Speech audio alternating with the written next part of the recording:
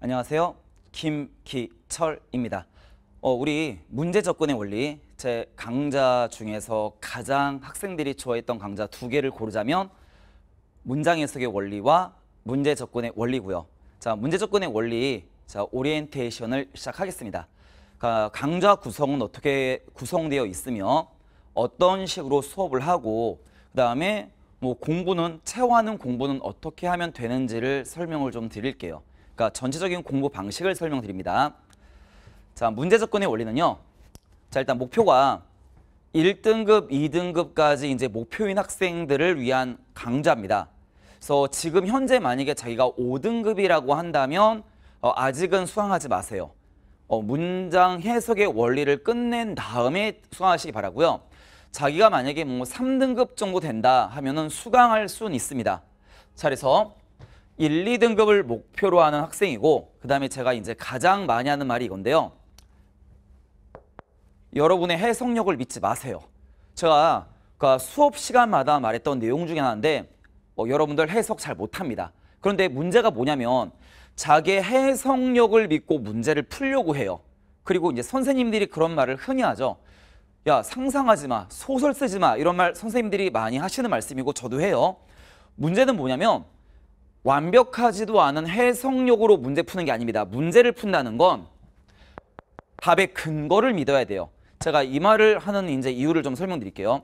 여러분들 어, 국어 시간에도 이 말을 들었을 겁니다. 지문 안에 근거 있습니다. 자, 우리 이 말을 엄청나게 많이 들었어요. 글 안에 근거 있다.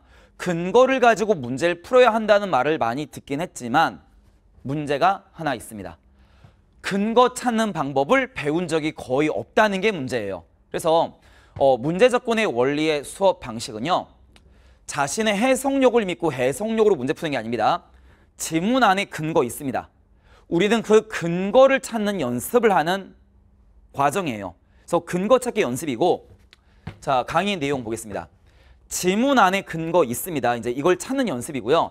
어, 제 수업 스타일을 이제 이제 뭐, 뭐 후기 같은 걸 보시면 알 거예요. 저는 정말로 체화하기 쉬운 방식으로 설명합니다. 그러니까 제가 체화하지 않으면 공부가 되지 않기 때문에 그래서 지문 안에 근거를 찾고요. 자, 근거 있는 그 방식을 찾는 방법이고 또 글을 읽을 때 이렇습니다. 수능은요. 보통 18줄 정도로 그러니까 줄이 18줄이 구성되어 있고요. 평균적인 문장의 개수는 7문장이에요. 근데 7개의 문장이 똑같이 중요한 게 아닙니다. 예를 들면 그러나가 나왔다고 생각해 볼게. 그 위에 말 뭘까? 속된 말로 쓰레기예요. 중요한 문장이 아니야. 자, 예시 한번 들어줄게. 이런 거야. 18줄짜리 글에서 보통 7문장으로 구성되어 있는데 중간에 읽다가 보니까 그러나가 나왔다고 쳐볼게요. 그럼 위에를 읽지 말라는 건 아니지만 이건 큰 의미가 있는 문장은 아니었다는 얘기예요. 그러나 이후부터 필자가 뭔가 말하고자 하는 내용이 나오기 시작하는 겁니다. 근데 일곱 문장밖에 쓰지 못하는 영어가 만약에 얘가 있다고 쳐봅시다. 예를 들어 일곱 문장밖에 쓰지 못해요. 지문이 아까워 죽겠는데 아니 왜 부연 설명에 예시를 썼을까요?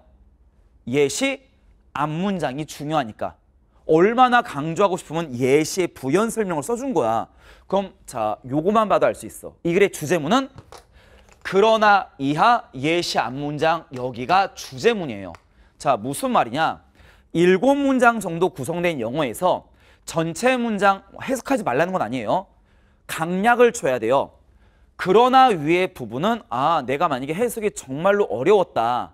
무슨 말인지 모르겠다. 그러면 주어, 동사, 목적어만 요약하고 넘기세요. 그러니까 대강의 스토리만 알면 돼요. 그런데 여긴 다릅니다. 주제문 자리예요. 그러면 세 번, 네 번을 봐서라도 완벽하게 해석을 해내셔야 돼요. 뭐냐?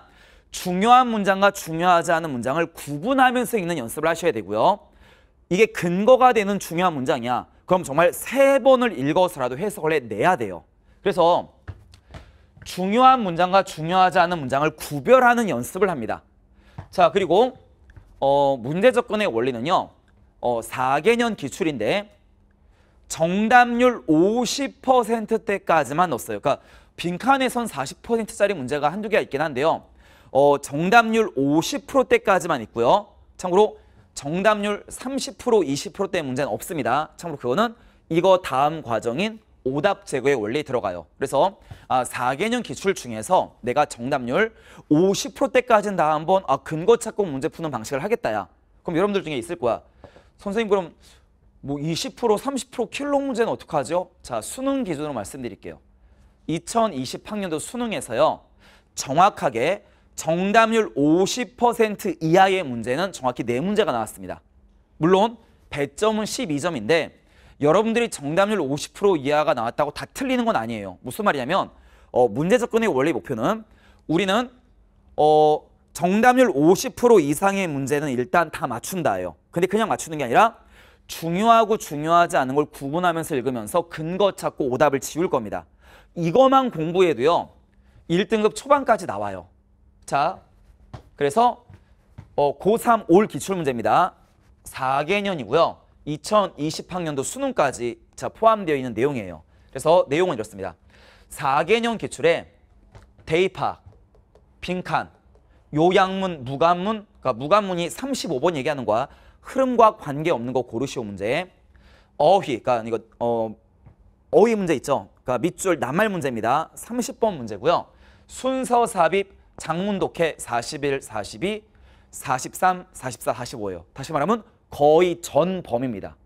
자, 유형별로 여러분들 유형별로 답의 근거 찾는 방식이 조금씩 달라요. 그러니까 거의 비슷한 거는 참고로 말씀드리면 대입학과 빈칸과 요양문은요. 풀이 방식이 같습니다. 글 하나의 주제 하나예요. 주제문을 찾는 연습만 제대로 하시면 답이 나옵니다. 그 다음에 무관문과 어휘가 풀이 방식이 같습니다. 자, 그 다음에 순서 삽입은 이제 주제문 찾기 연습이 아니에요. 지시어라던가 연결어라던가 대명사라고 하는 위치를 알려주는 장치 찾기 연습이에요. 그 다음에 장문 독해는 이제 앞에 배운 내용을 혼합해서 푸는 방식입니다. 그래서 유형별로 어, 중요한 문장과 중요하지 않은 문장 구분하기, 그 다음에 답의 근거 찾기. 자, 그래서 이렇게 수업이 진행이 돼요. 어, 3강이 하나의 묶음으로 보시면 돼요. 그러니까 우리 교재가 1강, 2강, 3강이 대입학이에요. 4강, 5강, 6강이 빈칸이에요. 그러니까 이런 식으로 정리되어 있는데 그럼 예시로 또 설명드릴게요. 대입학, 그러니까 주제, 제목, 요지, 주장이야. 주제, 제목, 요지, 주장이 1, 2, 3강인데 1강, 1교시에는요. 유형별로 자 이게 대입학이에요. 그러면 답의 근거 찾는 방식 이론 수업을 합니다. 아 중요한 문장, 중요하지 않은 문장을 구분하는 연습을 한다는 얘기예요. 자, 그 다음에 2교시, 2강입니다. 2교시에는 정답률 60% 이상의 문제 연습을 해요. 정답률 60% 이상의 문제면 고난도 문제는 아닙니다. 자기가 배웠으면 어, 정말로 답의 근거를 찾는 연습을 조금은 어렵진 않지만 조금은 그냥 일반적인 문제로 푸는 연습을 합니다. 그 다음 매시간 3강, 3교시예요. 정답률 60% 이하 문제를 이제 풀기 시작해요.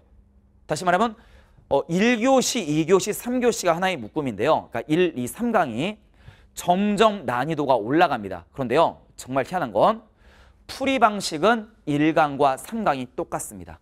저는 수업할 때 예외를 두지 않거든요. 그러니까 여러분들 뭐 이건 예외야, 이건 예외야 하면 머리가 깨져요. 무조건 답의 근거 찾는 방식은 예외 없이 적용할 수 있는 방식이어야 되고 또 누구나 체화할 수 있는 방식으로 설명을 해야 됩니다. 그래서 이렇게 진행이 된다는 거. 그래서 자 이제 수업도 내용이 이겁니다. 글의 전체 구조를 파악해라. 딱 이런 거야. 읽기 전에 연결어 같은 경우에를 먼저 표시하고 있는 거예요. 전체 구조를 먼저 보는 거야. 아 어디가 중요하고 중요하지 않은지. 구조를 살피는데요. 5초도 안 걸려요. 그래서 저는 수업 시간마다 얘기합니다. 문제 풀 줄 모르는 학생들이 그러니까 속된 말로 아마추어야. 문제 푸는 방식 자체를 모르는 학생들이 뭐가 중요하고 중요하지 않은지를 모르니까 첫 문장부터 해석하는 학생들이에요. 자, 첫 문장 해석하기 전에 딱 5초만 뺍니다. 연결어를 먼저 표시하고 글을 읽는 겁니다. 그래야 어디가 중요한지를 알고 들어가거든요. 참고로요. 대입학이나 빈칸 문제에서 그러니까 대입학이 네 문제, 빈칸이 네 문제잖아. 네 문제, 네 문제, 이제 여덟 문제에서 역대 6구 수능 10년 동안 연결어가 있는 게 많을까 없는 게 많을까? 있는 게 압도적으로 많습니다. 8분의 8이 나온 적도 있고요. 가장 적게 나올 때가 8분의 6이에요. 다시 말하면 어, 연결어 있을 때는 구조를 먼저 보는 거고 연결어가 없는 케이스는 미안한데 우리 OT 단하고 수업 시간 때 제가 설명드립니다. 이건 너무 어, 우리 수강생들만 알고 있는 비법이기 때문에 제가 OT에 설명드릴 수는 없어요. 어, 연결어가 없는 한 개, 두 개 문제도 풀어내야 될 거 아니야. 이럴 때 근거 찾는 연습을 이제 제대로 할 겁니다. 자, 그 다음 근거 찾기 훈련, 근거를 찾았으면 이제 오답만 지우면 끝납니다. 우리 수업의 스타일은요. 저는 정답을 찾지 않습니다. 아니 왜 객관식 문제를 객관식으로 풀면 되지 왜 객관식을 혼자 주관식으로 풀려고 합니까? 근거 찾았으면 아닌 것만 지워놔면 그냥 답이에요. 그래서 오답을 적어서 답을 남긴답니다. 자, 교재 구성은요. 총 15강으로 구성되어 있고 자, 파트 1이 1, 2, 3강이에요. 주제, 제목, 요지, 주장의 대의 파악. 그 다음 파트 2가 4, 5, 6강입니다. 빈칸. 그 다음에 파트 3가 이제 어, 7, 8, 9강인데요. 이건 풀이 방식 거의 똑같아요. 그래서 하나의 묶음을 넣고요. 그 다음에 순서 삽입 장문 독해 그 다음에 뒤에 책 뒤에 워크북이 있어요. 어, 맨 뒤에 50문제의 워크북이 있는데 그러니까 우리 교재 끝나고 워크북은 수업하진 않습니다. 근데 워크북을 정말 상세하게 해설을 넣었어요. 답의 근거가 어디고 어휘 정리해 드렸고 그 다음에 어, 풀이 방법까지 다 설명해 드렸습니다. 그래서 워크북 파트는 수업을 하진 않지만 그 방식대로 문제 푸는 연습, 그러니까 배운 대로 체화하는 연습이고 워크북도 똑같이 어, 4개년 기출입니다. 추천 공부 방법이에요. 먼저 예습해갖고 오는 거 아닙니다. 그러니까 항상 질문하는 것 중에 학생들이 선생님 제가 먼저 문제 풀어보고 들어갈까요? 그러지 마세요. 문제 접근의 원리가 끝날 때까지는 예습 없습니다. 왜냐면 문제 푸는 방식을 모르는 학생들이 아까 말했지만 자기 해석력을 동원해서 문제 풀려고 하거든. 어차피 시간도 오래 걸리고 뭐가 중요한지 몰라요. 그래서 예습은 하지 마세요. 복습이고 체화가 중요합니다. 가능하면 현장 강의 학생들처럼 자 우리 러셀에서 수업을 할 때 제가 현장 강의 할 때 3강을 한 번에 수업하거든요. 그러니까 예를 들면 월요일 날 6시 반부터 10시까지 자 1, 2, 3강을 하루에 그냥 한 번에 수업을 해요. 가능하면 온라인 학생들도요. 그러니까 오늘 1강, 내일 2강, 그 다음날 3강으로 공부하지 마시고 예를 들어 월요일이야 3강을 한 번에 들으세요. 그러니까 현장 강의 학생들과 같은 방식으로 공부하기 추천합니다. 왜? 세 개씩 제가 이제 세 강씩 묶은 게 풀이 방식이 같기 때문에 묶어놓은 거예요.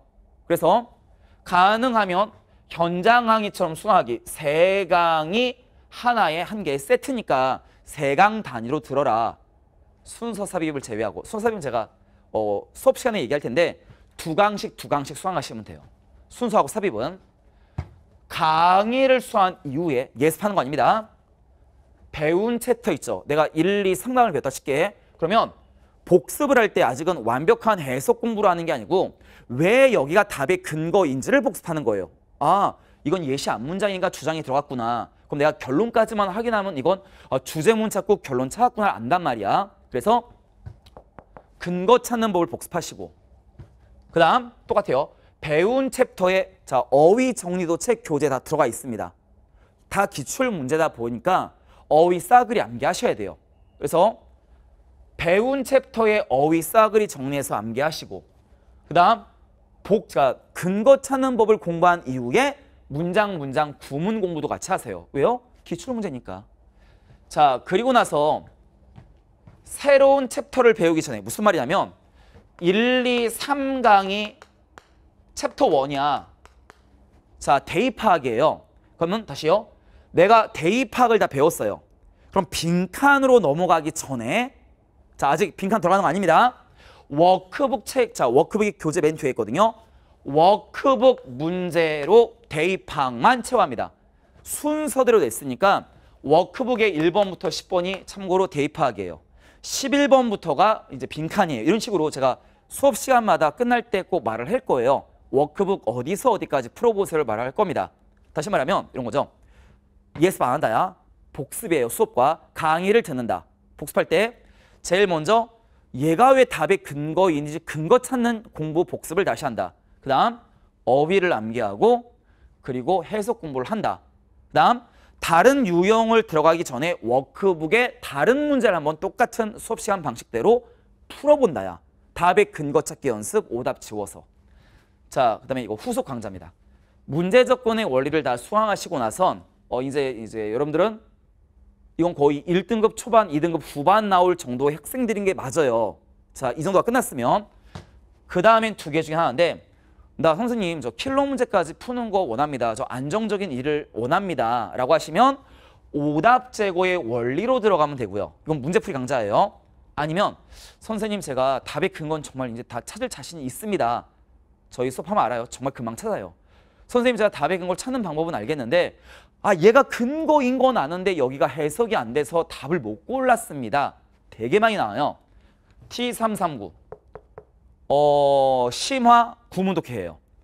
일, 그러니까 부제목이 1등급을 향한 문장 해석의 원리인데 정말 고난도 문장들만 모아놨습니다. 그래서 문장 해석 강좌입니다. 얘는 문제 풀이 강 오답제의 원리는 문제 풀이 강좌고요. 자, 요거를 뒤에 후속 강의로 수강하시면 충분한 공부가 될 거예요. 자, 그래서 우리 문제 접근의 원리 어, 꼭 체화 하셔야 성적이 올라간다는 거. 그다음에 공부 방식대로 공부하면 절대로 수능에서 후회하는 일은 없을 겁니다. 자, 우리 이제 수업 시간에서 만날게요. 감사합니다.